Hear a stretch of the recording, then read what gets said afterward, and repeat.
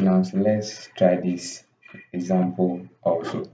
So you have to find the current in the 10 ohms resistor okay which is this resistor here. Okay so first of I'm going to calculate for the Thevenin's resistance which is this RTH here. So before I can do that if there are some voltage sources in it I have to short circuit the voltage sources and then there are some current sources in it I have to open circuit the current sources. But in this case I have two voltage sources which is the 4 volt source and then the 6 volt source. So I'm going to short circuit these two voltage sources here. So after short circuiting them, I have the circuit to be this. Um, okay, so I've taken out the load resistor, which is the 10 ohms resistor here. Okay, so that's the resistor that you have to calculate for the current flowing through. So I take out that resistor. So then we have what our circuit to be this way. So now as you have this circuit here, you have to calculate for the effective resistance for this circuit here, and that will be Thevenin's resistance. So to calculate for the effective resistance, let's take a look at that. So you see that for the 5 ohms and then the 15 ohms resistors are what the parallel connection. Same way the 8 and then the 12 ohm resistors are also in what the parallel connection. So you are going to find the effective resistance for this two parallel connections. Then we add them since they will be in series afterwards. So let's look at that. So for the 15 and the 5 ohms resistor, let me name that one R1. Okay, so that will be equal to 5 times 15. 5 times 15. Okay, divided by 5 plus 15. Okay, and then for R2, okay, this will be equal to 12 times 8. Okay, divided by what? 12 plus 8. Let's find the values for these two resistance values. So I have what? 5 times 15 divided by 5 plus 15. So this will give me 15 over 4, which is equal to 3.75. So that's 3.75. Okay, and then the second one, that's what? 12 times 8 divided by 12 plus 8. That will give me a value for 24 over 5, which is equal to what? 4.8. Okay, so after finding these two effective resistance values, the circuit will become something like this. So I have one resistor here, which is the R1 here. Okay, then I have another one here also.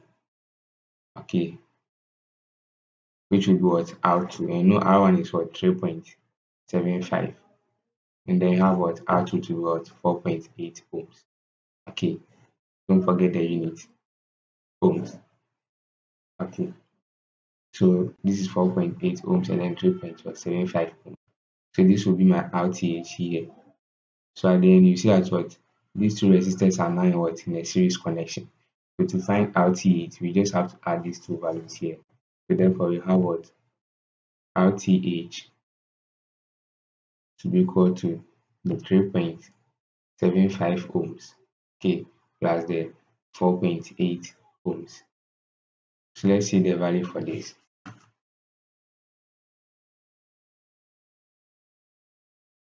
This will give me a value of 171 divided by 20 which is equal to 8.55 ohms 8.55 ohms so this is the value for the Thevenin's resistance. So now that we found for the Thevenin's resistance, let's calculate for Thevenin's voltage. Okay, so to calculate for the Thevenin's voltage, I'm going to bring, I'm going to name the nodes. Okay, so this will be node A, node B, node C, D, node E, F, G, and then H.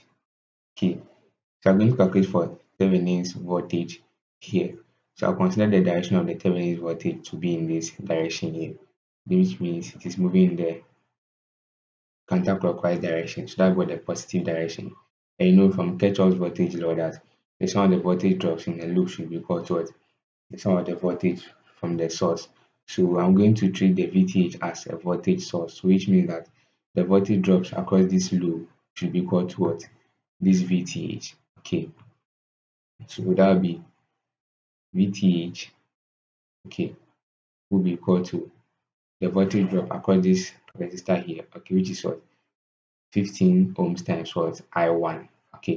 So that was 15 I1 and then plus the voltage drop across this resistor here.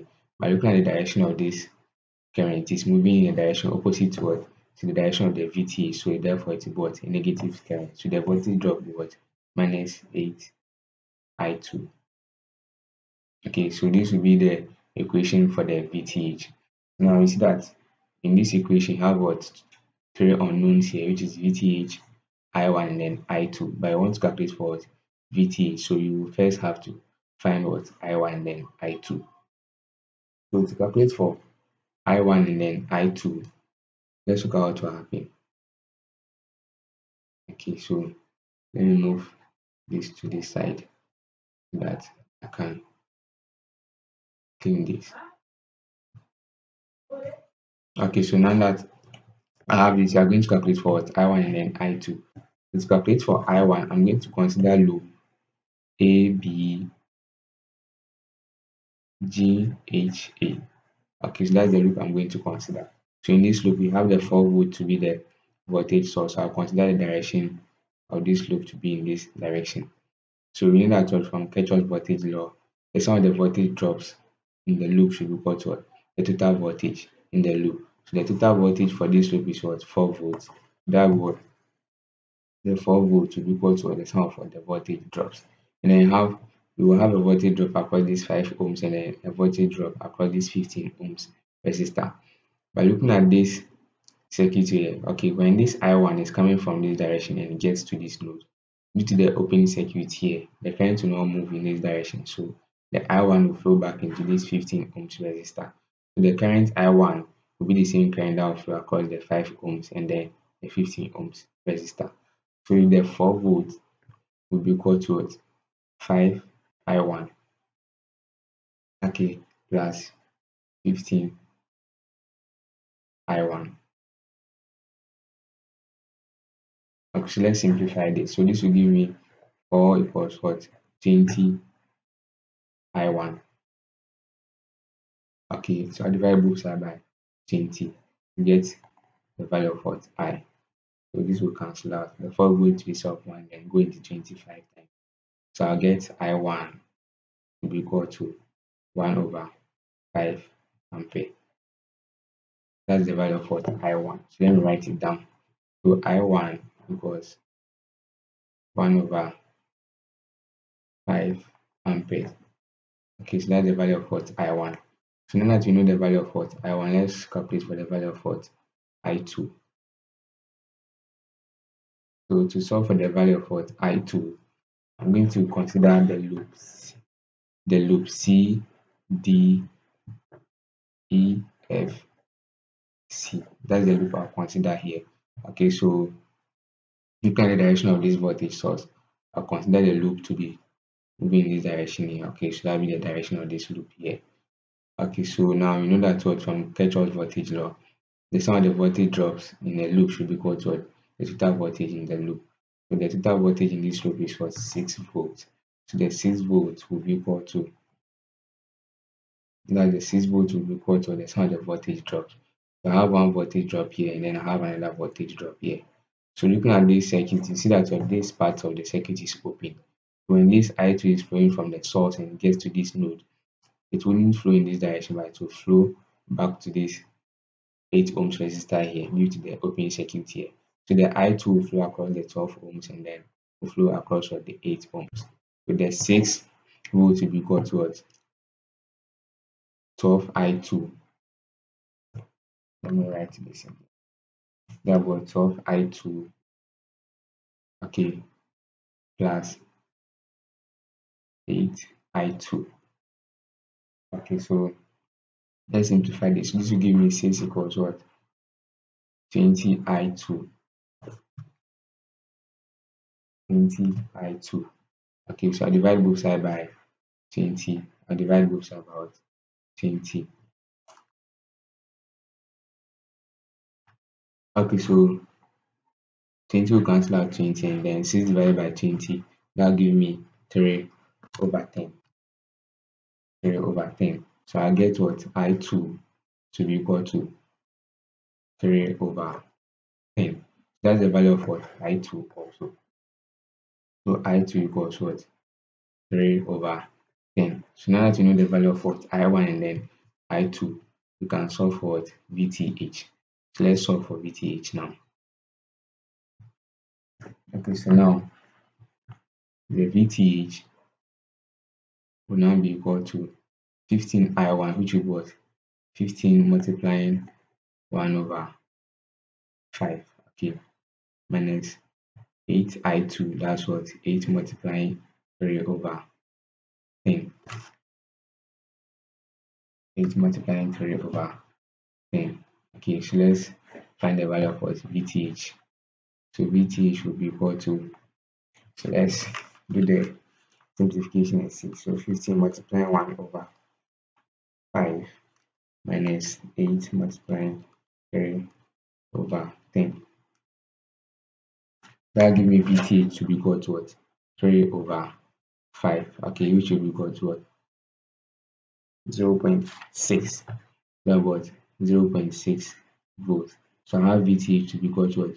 0.6 volts. So now that I have VTH and then RTH, I can draw Thevenin's equivalent circuit, then calculate for the current I in the 10 ohms resistor. So let's look at that.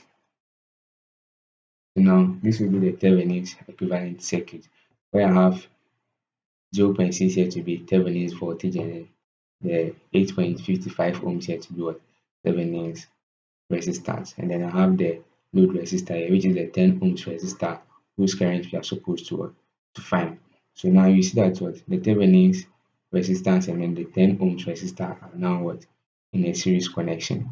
So this current I here the same current that flow across this resistor and then this resistor. So when we are able to find the current I, then we'll be able to, to find the current that's flowing through the 10 ohms resistor. So how are we going to calculate for current I?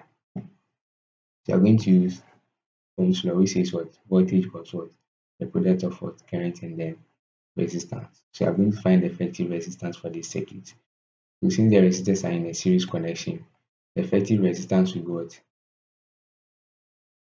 8 sorry will be 8.55 ohms plus the 10 ohms. Okay, so this will give me the effective resistance to be equal to what 18.55 ohms. So this will be the value of the effective resistance. So now that you have the value of the effective resistance, let's calculate for the value of what current.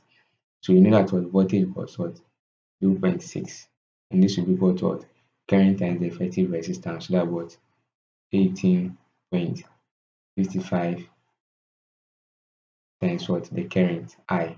So I'm going to divide both sides by what 18.55. 18.55.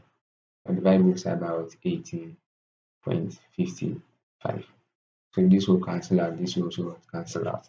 So let's see the value get for 0.6 divided by 18.55. So this will give me the value of what? I, okay, to be equal to 12 divided by what? 371. 371, which I'll change to decimals, which will be equal to 0 0.032 032 amperes. Okay, that's let me write it here. 0 0.032 ampere. Okay, so that will be the value of what the current and then that will be the same current that will flow through this 10 ohms resistor. So therefore, the current flowing through the 10 ohms resistor will be equal to what 0 0.032 ampere. This is how to apply the Thevenin's theorem to questions. So you just have to follow the steps and then you will be able to solve your current value. Thank you very much for watching this video.